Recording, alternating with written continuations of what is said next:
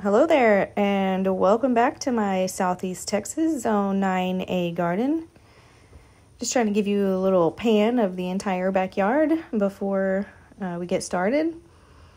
The grass was recently cut, so everything's looking uh, kind of crisp, and uh, you can see the dog's trail there, and uh, you can really see how everything's just kind of jumping up out of the ground. Never mind my water hose there. The ladder box is filling out pretty good. And that's where the uh, hummingbird, I did see a hummingbird. I do have a resident hummingbird now.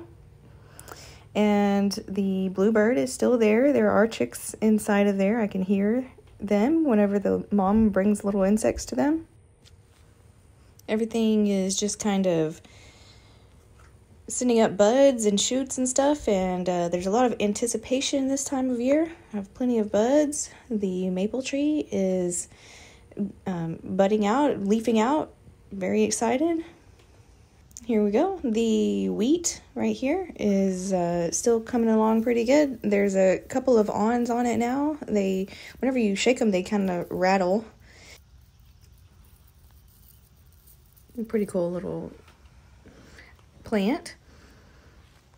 Over here, I have the crinum lilies, and um, there's a few things in here. Right here, um, under here, there is liriope and a lead plant. This tiny little plant is a lead plant, really cool native, has purple spiked flowers. Let me get this out of the way so I can really show you the little, tiny little leaves. This is a second year plant, and then right over here are some seedlings that I planted a few weeks ago.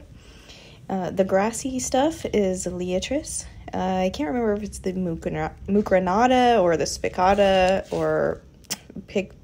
Uh, I can't remember. But right here is the uh, uh, blue-eyed grass. This is a native in the iris family. The Liatris is also native. I have a few varieties. That's why I don't remember which one is which because I planted so many in so many different places.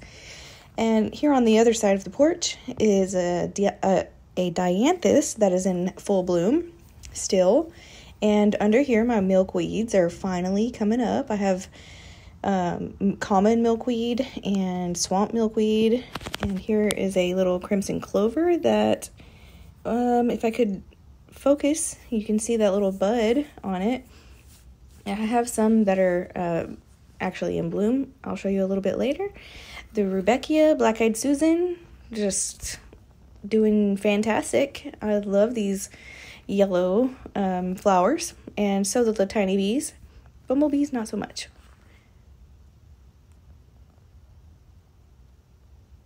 It's mid morning, so I'm kind of finding my shadow.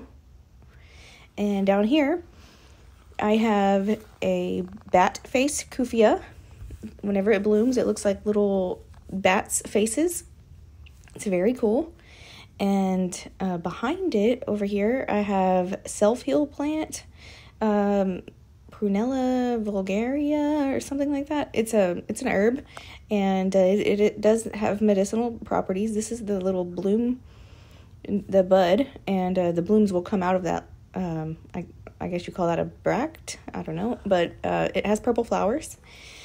And over uh, here is the Maurice Utrillo rose. It has very many buds on it. I'm very excited. You can see all the buds are kind of starting to open up. And behind here, you can see a bloom. Let me get in there so that you can really see it. There you go so bright and cheerful and it smells very good. Uh, this is uh, this is one of the roses that they call like a tea rose. So it's got like a light fragrance. It's not really super strong but it definitely is there. And it just looks cool so cool with the variegated petals over here, uh, this is the bed that is, uh, it has a border of daylilies, and I don't know what color they are yet, but one of them is bloom. It does have a bloom. Uh, this is going to be the first actual daylily that's not a ditch lily that blooms for me uh, since I planted the seed um, last year. So I went through a full season, didn't bloom, and then this is its second season. This is my hydrangea and it's already got three buds and they're pretty close to opening. Uh, but you can see it's kind of already getting discolored because of the sun. You see where the leaf uh, it covered it up. It's darker because the sun has bleached the, the leaves already. It gets really intense here in Texas, guys. The the hydrangeas do not like the sun. And over here, uh, this large climbing rose I still don't really know uh, what it is, uh, but it is definitely a climber uh, or a rambler, I guess. You can see the little buds on it. I have a cutworm somewhere that um, I is eating some of the buds, but uh, not to worry, they're not going to get all of them. And you can definitely see that this is going to be a red rose. Um, so many buds. I'm very excited. I will definitely show off some photos of that whenever they open. It's got that pretty red new growth. All right, over here where the dogs love to talk to each other. I also keep a like a few cuttings over here because the ground just kind of always stays moist. And uh, there's a there's a spoon tomato growing here, or maybe it's an Ozark pink. Either way, um, they that's a tomato there. And here are kalanchoes. The purple is Tradescantia, and uh, I really just have this here so that the dogs are blocked. Here's some cannas. They're yellow and they're supposed to be dwarf variety, but they are all very vigorous growers. I don't know if I'm going to keep them here this entire year. And under there is a uh, it's an ice cream banana. A few different things there. Uh, here's my oak leaf hydrangea, uh, cool native, and over here are some succulents. I don't really I I'm pretty sure that they're also some sort of kalanchoe, kalanchoe, kalancho. Um, but this, it, um, I haven't seen them turn red, so maybe they're liking life now. um, that's the sugarberry. Over here, I have uh, some broccoli, and this is a swamp milkweed that is coming back from last year that I had planted the seed. Uh, there's a hibiscus there that I haven't seen come back. I don't know what's up with that. Behind the ladder box is some Turk's cap, and here is a mum, and this is a purple cabbage. You can see crimson clover everywhere. What I think is a foxglove right here hasn't put up a bloom spike yet, and I'm um, pretty sure that this is yarrow or yarrow, an, another cool herb that does flower. Over here, I have some collard greens, or maybe it's broccoli, and some uh, Rubin red basil. That's what the variety is. I have rhoeas poppies. This is another mum. Uh, here's my button bush. It is coming back, and a uh, there's a sunflower over there from the bird feeder. This is the blue mist flower and the Gregg's mist flower coming back from last year. A mum, a cutting of a rose that my neighbor's mom gave me last year. I didn't think that was gonna make it, but it, it is. So yay! There's a Colorado columbine that is um, continues to bloom. Over here is some irises and uh, some phlox. You can see these wild phlox, wild blue phlox, but they're not really blue, they're purple. And over here you can see more kalanchoe and irises and uh, some hostas there that have uh, come back from last year, also from my neighbor's mom appreciate those very much. Those are a variegated kind. And this little fence here is because this variegated liriope doesn't grow as vigorously as its uh, not variegated neighbors. Uh, so the dogs like to go in there through the, through there. So I'd really like it to grow and block that off, and I can remove that fence. Here's a uh, a large hosta coming back from last year also, and Texas spider lily.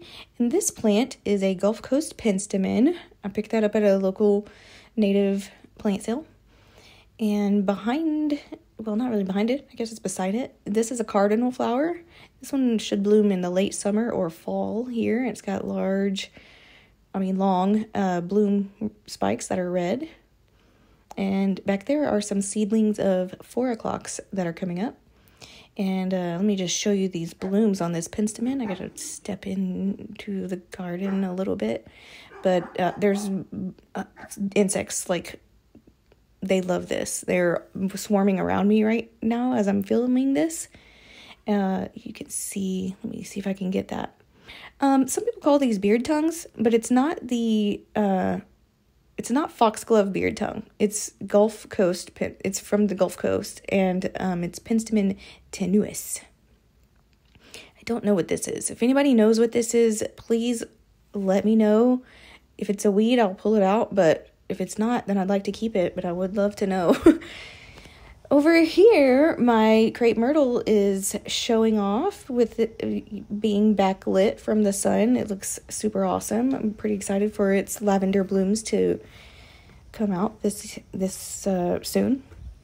Under it is some poppies. And here I have a couple of little bunches of wheat. I have a Solidago fireworks under there. Right here is a daikon radish. And this is a Miranda Lambert rose. It has large hot pink blooms, and uh, there's the buds. So behind me, behind the, there, is the kid bed, and you can see some phlox blooming. This is just regular old garden phlox. And um, I actually forgot that I had planted it there, and it there's some more coming up right here. I don't, I don't know if it'll be the same color. But the other foliage around here, this is Monarda fistulosa, another native, and there's some coreopsis. And under here, we have little buds coming up of a Baptisia. I think this is the uh, false indigo, the, the large blue one. And uh, there's uh, black-eyed Susans there also, daylilies, irises, all kinds of things.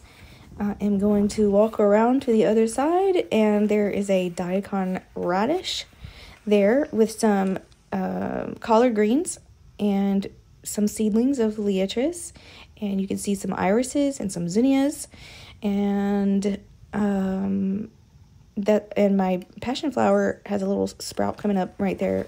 It looks like it's coming back from last year, but that's all I see of it. I don't see any growth on the middle of it, uh, which is weird because it was a very vigorous grower last year, and I am about 99% sure that it is definitely not dead. Uh, right here is a uh, milk a butterfly milkweed. It's the orange kind, a Asclepia tuberosa. There's another one over there with a carrot and some irises and a daisy and another uh, milkweed. And the uh, creeping Jenny as a down uh, ground cover. Over here is more wheat with some broccoli and a, a dark purple buddleia. I think maybe it's a, the black they call it the black one. And uh, here's some uh, liatris with some poppies planted underneath that have germinated but aren't really growing that much. There's a little pink petunia there, a Russian sage plant there to the left with a daylily touching it. There's a in the middle there, that's a skullcap, and there's a pomegranate tree uh, over here in between the two broccolis. And uh, over here, the mountain laurel is doing great. It's loving its location in this full baking hot sun. This is a little daikon radish here, and there's some native grasses and stuff planted here. This one is a dahlia, and these are bachelor buttons here. Uh, there's an there, and those are zinnias, uh, liatris as well. This is a dahlia, uh, more bachelor buttons and I'm just trying to make this like a little, uh, just, I just want a, a, a bed of flowers here. This is a dahlia, and you can see the big blue stem. That's, that's what the, that grass is there. All right, and coming over here, you can see the uh, Papaver rhoeas and Papaver somniferum there in the front. And this is the crimson clover that is blooming uh, this isn't like fully open, it's just barely begun opening. And the daikon radish is in is in bloom. These cute little starting out purplish pink turning into white later blooms. That's a wheat there in the middle as well. Uh, more daikon radish and stuff. And this purple flower, well, blue, I don't know. Um, it's a spiderwort. This is a great native. It is edible, and some people say it has medicinal properties. I have two different colors. I have this, well, blue, but really it's purple, and the pink. The camera doesn't really show the the true color, but you can definitely tell that that is pink and purple. and right here is some cilantro. It is in bloom. It's already bolted. And uh, you can see the little blooms here. They're so cute. I love it. And especially back, like with the, with the dianthus in the background. It's really awesome. This is a, um, this is one of the bigger dianthus. It kind of grows a little bit tall. The pink one that I showed you earlier was like a dwarf, the dwarf kind. And look at this. This is another iris bloom bud. Should be a white one whenever it opens. And a little further down, here's another Maurice Utrillo rose. That was a cutting from the other one. And um, I think I'll be removing this one because my sister wants one and I only want one and I have two. This right here is a Gaillardia or a blanket flower or a fire wheel. I really love these. They're a little bit sprawling, but the bees absolutely go crazy. This is a sunflower planted by the birds. And um, these Gaillardia, they have a lot of variety. You can see all of these different um, uh, flower buds and there's I think there's two or three plants in here and they're all from the same seed packet, but the blooms are all very different. You can see some of them have really a lot of yellow and then other ones have like a lot of red and I really like the ones that have more yellow. Right here is Papaver somniferum and it's the giant um, um, rattle something. It's They're very large. And uh, behind it is an American Beautyberry over here is a, uh, a plumbago. It's a blue plum, plumbago. And here is some Texas vervain. Really cool native wildflower. Uh, and has Texas in the name. and uh, that's a that's a big iris next to it.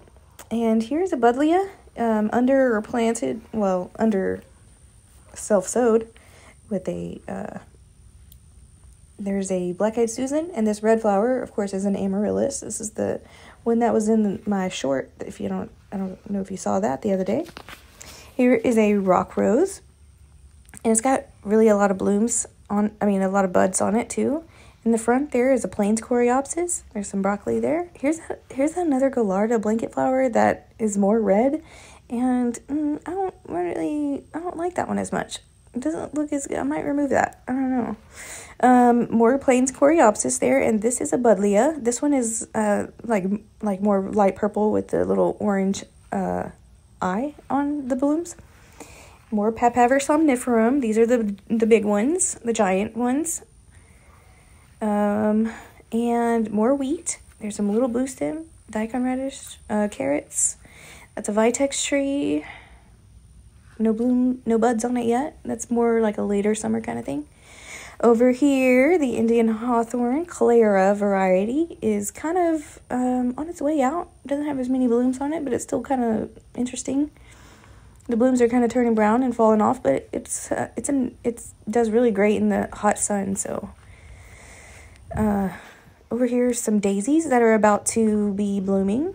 We got a lot of buds on there, and more wheat in this little container. And this is a new addition here. It's a red leaf hibiscus. Here you go, you can see the tag there. And uh, this one uh, is very dark leaves. Uh, the bud on it is almost black. I thought, you know, like it, it looked like the bud, the bloom was going to be black. Here you can see a, a few of the buds. These are going to be flowers and there is a, a spent bloom right here. It did bloom and I will show you a photo of it uh, right now. Here is what the bud looks like. You can tell it looks really black. And then whenever it opens, it's this dark, deep red color. I love it. All right, on the other side, uh, this is the garden side, like the edible area. I have some collards there, some lemon balm, um, daikon radish, um, thyme, oregano. There's basil, cilantro. There's all kind of things in these this little pyramid. It's very cool. And there you can see the daikon radish at the bottom and the oregano on the right. And over here, this uh, oxalis wood sorrel. Uh, this is a native, and uh, I think it's called pink pink wood sorrel or pink oxalis. Uh, I don't know really, but it is it is definitely native. It was planted by a bird. Over here, I picked up some rosemary last week, and I planted it there. And this is a guava tree, and I have some marigolds planted underneath of it. You can see the it is coming back. The guava fruit should be delicious this year. And behind it, this is a daikon radish, and you can see the little buds there for the bloom. And my uh, landscaper was so nice. He pruned my strawberries all the way down to the ground for me. See that? Isn't that wasn't that nice of him? that's okay. I put a I put a, uh, little cage around it so he'll uh, know next time to not do that. And uh, over here, the garden is really filling out. I removed a lot of that cabbage that wasn't going to head, and uh, that has caused my cucumbers to take off. You can see some blooms there, and I'm trying to show you here a little baby cucumber. I think you can probably see that. And uh, this red, you can see the red there. That's that's some lettuce. Uh, there's carrots, uh, broccoli. The this little bloom is a daikon radish. There is a pink Ozark tomato. I have spoon tomatoes and pink Ozark, Ozark pink, and they are both indeterminate. And I forgot where I planted each one, but they're the same size, so you know. Uh, there's some bush beans and some snow peas, and I do have a snow pea right there. They're so good. They're delicious. They're like my favorite peas. Uh, red cabbage over there. I mean purple, not red. Over here, you can see another little tomato plant. It's not too early in Texas. Go ahead and plant them. Do it. Do it now. Here is uh, some Brussels sprouts. And you can see the little sprouts over there. You see that? And uh, like I said, it is Texas. We are already hot. Look at these poor little brassicas and these poor little daikon radishes. They are receiving too much sun. You can tell by the way that the leaves look. But these peppers have already germinated and uh, they love it. They love the sun. They love it hot. But these, oh, there, uh, I'm showing you a marigold there. I, I have a few marigolds planted around. You can see another one right there. But yeah, it's already too hot for some of of these cool weather uh, crops. Over here, I have some Chile pequin. That's the bush in the corner. And on this little mounded up area, I have I'm trying I'm trying to dodge my shadow here, but it's not working. There are three types of zinnias and there are also there are also some lavender planted and some chamomile. You can see the little seedlings here. This you can just really see the zinnias. And here is what I think is the lavender, I'm hoping. And over here, you can't see, let me just, let me just zoom in as far as I can here. There you go, chamomile. These seedlings are so small. So yeah, that's to be pretty. I forgot to show you this bud on the other side. This is a clematis, and it is should be opening any day now, and there's another bloom. All right, out here in the front yard, my uh, salvia is is budding out, really close to blooming. This is the Victoria White. This is what the buds look like. And the big bed, you can see the uh, Vistamix red salvia is very much showing off. It's loving life with some ghost plant in there as well. I really love these red blooms. They're, I mean, they're just so eye catching. You can't stop looking at it. It's almost fluorescent. So pretty. And the hummingbirds do like it. Um, in the big bed, where um, this is the anticipation stage of the amaryllises because you can see they're just about to open. You can see some some massive poppies uh, behind there, but look at all these buds. These are so close to opening. I can't wait. I can't wait. I have no less than 25 or 30 uh, blooms just waiting to happen, and each one uh, has at least one uh, flower inside of it. And some of them have three or five. So you can see, I'm very excited. And over here, more Shasta daisies getting ready to bloom.